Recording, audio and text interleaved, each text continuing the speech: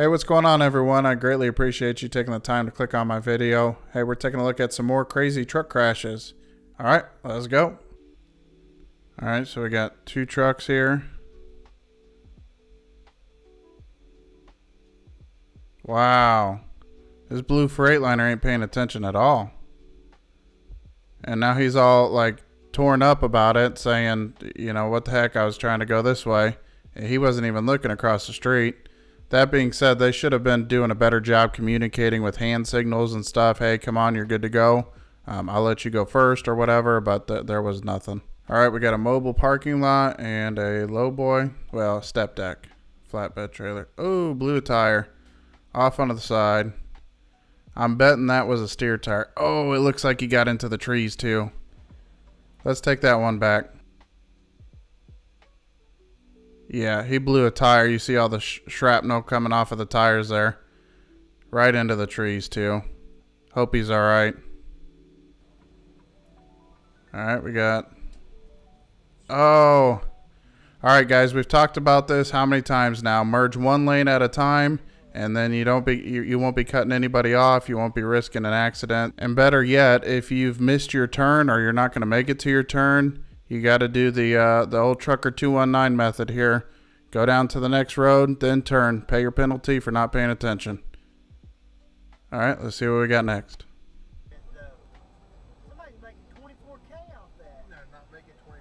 Oh, truck's dozing or medical condition. Oh my gosh. Oh, right into the tree. Oh, and a jackknife too. Yeah, hop out and check on him. Make sure he's all right. Goodness gracious, that was rough. Okay, we're coming up on a light here. Green light. Okay. Again, move over one lane at a time. If you can't make it, pay your penalty. Go up to the next road. Oh. Oh, this is the same video, just a different angle. That's cool. How often does that happen if it's not the one vehicle's equipment? Let's go ahead and take that back now that we can see both. Okay. Turn signal. He does have his turn signal on. But he very easily could have uh, picked up the pace and gone up the road a little bit. From that angle, it almost looks like it's the truck's fault, to be honest. You know, it looks like he got over into his lane. Luckily, the, the truck had the dash cam on it. Get yourselves a dash cam, even if it's a cheap one. Um, I think Amazon sells them for really cheap. Um, any sort of, even if it's terrible video quality, it's better to have something than nothing. All right, we got a parking lot situation. Oh, cutting it too tight. Tore up the whole front of that truck. Oh my gosh, man. When you're making turns, always watch your mirrors. Take a look out in front and then look at your mirror. Watch your mirror the whole time you're turning and then just glance at the front. Make sure nothing's coming up front. And and this this can be avoided. And worst case scenario, you have to stop, back up, swing a little wider. It'll save you this headache. Anecdotal story about that. Um, I was in a truck stop. I was walking back from my truck and getting ready to walk around the outside of the parking spaces. And it was winter. The roads were icy. The parking lot was icy and I seen a truck that was fixing to do this same thing, and I could tell right away that he wasn't going to make the turn. So instead of, you know, standing there waiting to get hit, I turned around and booked it the other direction as fast as I could, penguin walking, just to avoid slipping and falling and also not get hit by the trailer. Luckily, I did because exactly what I thought was going to happen happened. Ooh, truck coming over. Oh, man. Looks like it's... Yeah, that's what those barriers are there for. Luckily, it stopped him from going into the oncoming traffic. Oh, man, dude. There's no reason you can't see. This is... This pisses me off. Frankly, it pisses me off. Because it's on his driver's side, first of all. So he can see down that mirror fine. And there's no reason for him to absolutely need to get over right now if there's a, a backup or something that you didn't see and the traffic is coming to a quick stop and you didn't save yourself enough space, that's one thing. But to be merging over just because you think that you are more important than everybody else, That kind of attitude pisses me off.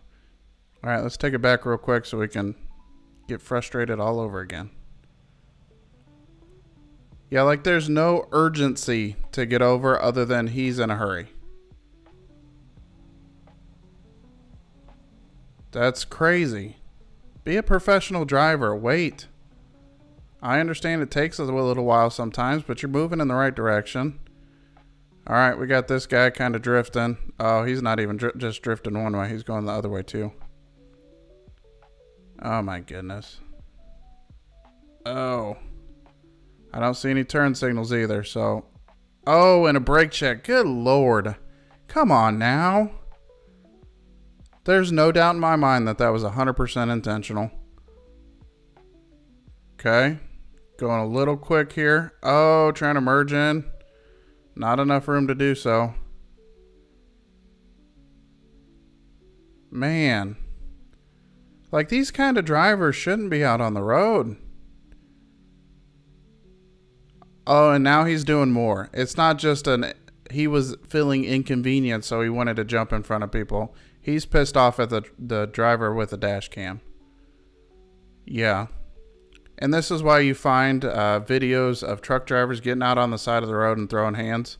What you do in this situation, though, real quick, if you are a truck driver that's got somebody upset at you for some reason and they're cutting you off like this, if there's an availability, pull off of the, the highway, pull off of the interstate, go go to a truck stop, take a break, take a lap around your truck, whatever you got to do, um, so that person can get further on down the road, and the chances of you running into them later on, uh, your safety is more important than their anger. Um, I'd hate to see any driver end up getting hurt out here. Oh, got rear-ended by, I can't even tell if that's another truck or a train. I'm guessing another truck. Yep. Ooh, it looks to be like a flatbed too. Okay, we got our four ways on here. This means either A, he's fixing a turn somewhere, or traffic up ahead is slowing down, or he's having a, a mechanical issue that he needs to let people know behind him, hey, things are getting slow, slow down. Oh, he's backing up for no reason.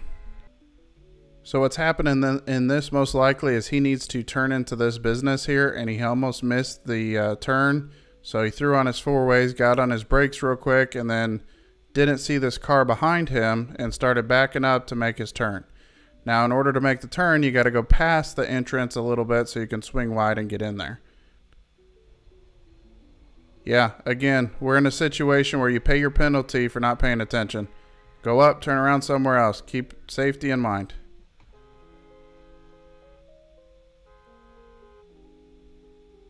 And he doesn't even realize. Okay, so we got a truck merging over, turns his turn signal on, and gets right back over. Why did he do that? Got it. So there's a truck over here on the shoulder, and he felt he needed to get back over to, you know, provide a little bit of safety for this guy if he's getting out of his truck working on something. Um, but it doesn't mean he should cause risk. Also, um, this car was kind of zipping by him a little bit, probably because he was held up for a little while. Fair enough, but he did have his turn signal on and moved over in time. He just kind of cut him off. All right, major snow going on. Major, major snow. Oh, and a backup ahead. Yeah, this happens more often than you realize. Oh man, what a hit. Yeah, no kidding. So this is why it's a good idea to have a CB radio or to look at your Google Maps to see if there's any traffic backups or anything. But honestly, a CB radio is your best instant information machine, especially as a trucker. Um, if you have a CB in your car, the trucker's channel is 1919, channel 19. Um, but they could have let them know that, hey, there's an accident up ahead, eastbound, mile marker, whatever um, it's backed up here, so back it down because most likely this is nothing but ice here, and you know there's no way to stop it even if he's seen it in time. But right now you can barely see it, and he gets on his brakes pretty quickly, and there's zero room for an out. You just slow down the best you can and brace for impact because that's about all that you can do. He tried to find it out. Good job on that. Yeah, he got as far as he could get. This is why we slow down quite a bit when we see rain or snow. Okay, merging over without enough room to. Again, on the driver's side. Luckily, he didn't come all the way over and get, eh, he's still coming. Sometimes, you know, you're, you're kind of getting zoned in on your drive and you do forget to check your mirror. It, it happens. But as you're merging, you should be looking in your mirror regardless of if you didn't check before and notice that you're fixing to hit a car and jump back into your lane. No big deal. Nobody got hurt. Um, yeah, I mean, 11 hours driving, it's exhausting and you kind of lose focus a little bit sometimes. Things happen, but nevertheless, if you see you're making a mistake, fix your mistake before it causes a unreversible mistake. Ooh, wet conditions. Stop sign. Did he even try? Oh, he got, okay. So this video must be sped up a little bit because he looked like he was hauling booty. Okay, he's got his turn signal on.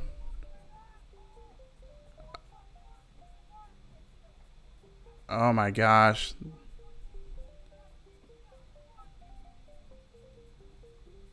Yeah, it's time to throw hands. Hopefully he set his brakes so his truck doesn't roll away while he's going to handle the situation. Are they wrestling? Are they hugging? I can't tell. Oh, he's got him in a headlock. Good old guillotine. Oh my gosh. Yeah, that's one thing about truckers. Uh, I would say a good at least 80 to uh, 70 to 80% of truckers are good old boy rednecks that don't mind throwing hands if, if there's a controversy or, or something going on that they need to.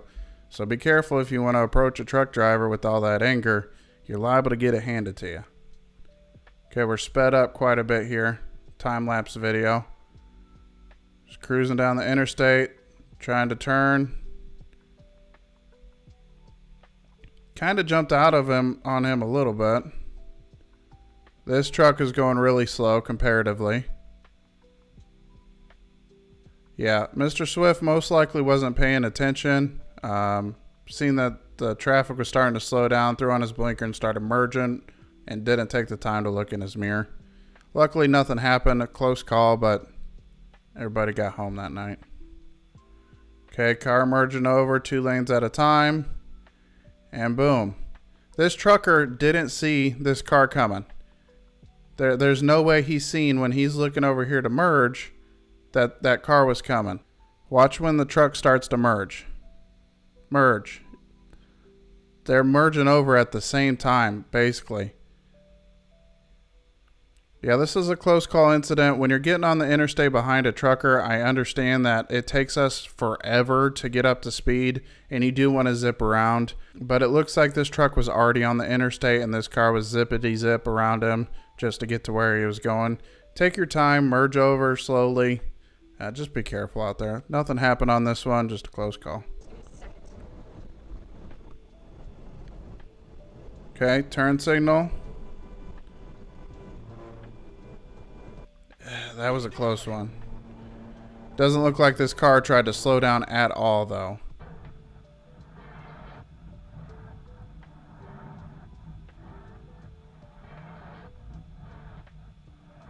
Okay, it looks like uh, one of the side roads here. These ones are exiting. Oh, he's seen his mistake and merged back over. Not a big deal. This is what I was talking about in that earlier video. If you're merging and you see something's fixing to happen and you can avoid it, ah, then he gets right back over though. He was had his turn signal on to merge, merged a little quick, didn't give it uh, quite three blinks there before he started to merge, realized his issue. He knew he had enough room to merge over, but he's got on his brakes. So what he's going to do is merge back over to give this guy that has the dash cam um, the room to go ahead and go since he seems to be in such a rush. And probably wave out the window, say, sorry, I didn't mean to, you know, almost cut you off there. Oh. Oh my gosh, this this has happened to me before. Yeah, not quite on the interstate, but I've noticed it lifting because what I'll end up doing is I'll latch one side but get distracted on the way around and forget to latch the other side. This happened before and you see you do see the lid start to lift up a little bit and then you know you got to pull off and and refasten it. Otherwise this does happen. Yeah not a big deal other than the fact that when it's up that high, when it's all the way up, you can't see nothing in front of you with that big old hood in the way. There, there's nothing to nothing to do but stop in the middle of the road, shut it down, latch it up. Okay, merging over, not enough room to. Ah, uh, here we go. Pay your penalty for not paying attention. He should have went up and turned around. He went two lanes at one time. Bad trucker.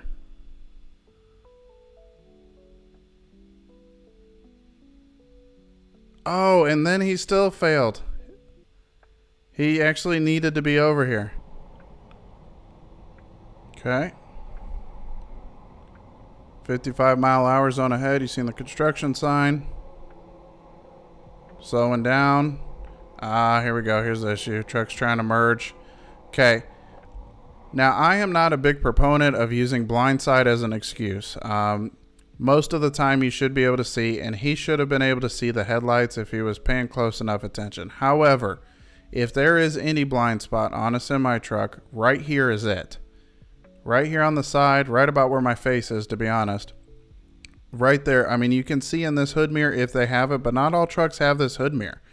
Um, he should have been able to see it, but you should be able to see headlights or shadows or something like that so that you can tell and also just keeping an eye on the traffic as you go through your day.